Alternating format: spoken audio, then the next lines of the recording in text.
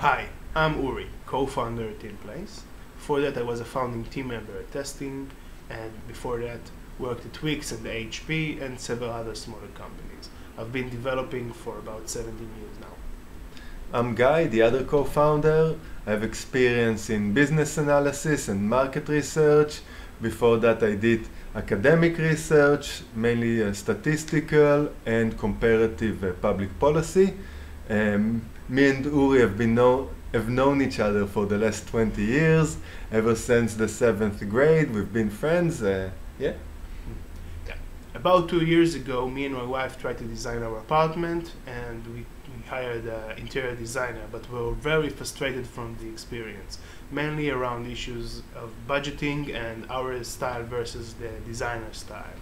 And we felt there must be a better solution for this. And the solution is InPlace, obviously.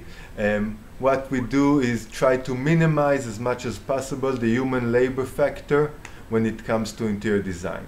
The idea is to have an artificial intelligence do the design for us.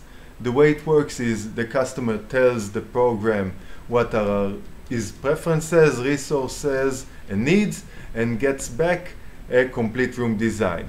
The room design is uh, composed of a floor plan and a list of products that work, to work together. Um, when it comes to color and style, they all work with each other and uh, match the uh, customer's preferences. We started a public beta about a month ago and got a very promising result from our engaged MA users. That's about it. Thank you.